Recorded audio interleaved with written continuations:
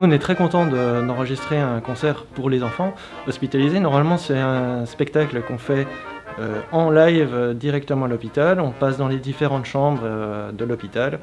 Et on a toujours un accueil très très chaleureux de la part des, enfants hospitalisés. À cause de la crise sanitaire, on ne peut pas se déplacer et prendre ce risque. On a proposé un, concert filmé. Le concert pourrait être diffusé dans les chambres, même de ceux qui sont invités, et dans le réseau interne de l'hôpital.